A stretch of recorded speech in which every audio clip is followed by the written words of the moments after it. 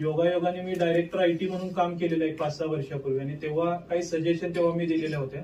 आता हे प्रेझेंटेशन बघितल्यानंतर त्यांना जवळपास सर्व सजेशन इन्कॉर्पोरेट झालेले असं दिसत आहे. आणि त्याबद्दल मी टीमचं अभिनंदन करतो की हे टू पॉईंट झिरो मध्ये आपण पुढच्या लेवलला आपल्या सरकार ग्रीव्हन्स रिड्रेसल पोर्टल घेतलेलं आहे. की त्यामध्ये विभाग प्रमुखांना सुद्धा कळणार आहे की तक्रारी आलेल्या आहेत आणि त्याचं निराकरणही तात्काळ आपल्याला करता येणार आहे. आणि लोकांना सुद्धा सोशल मीडिया प्लॅटफॉर्मवरती सुद्धा याच्या रेटिंगसाठी जाता येणार आहे.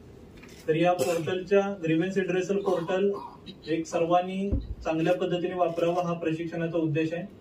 आणि पंधरा ऑगस्टला आपल्या सर्वांना माहीत आहे की जे सेवा हमी कायदा आहे राईट टू सर्व्हिसेस दोन हजार पंधराचा जो कायदा आहे त्याची अंमलबजावणी परिमाणकारक पद्धतीने करण्यासाठी आपण आपल्या जिल्ह्यामध्ये पथदर्शी प्रकल्प सुरू करतोय. तो पंधरा ऑगस्टपासून आपण सुरू करतोय. आणि त्या पथदर्शी प्रकल्पामध्ये जो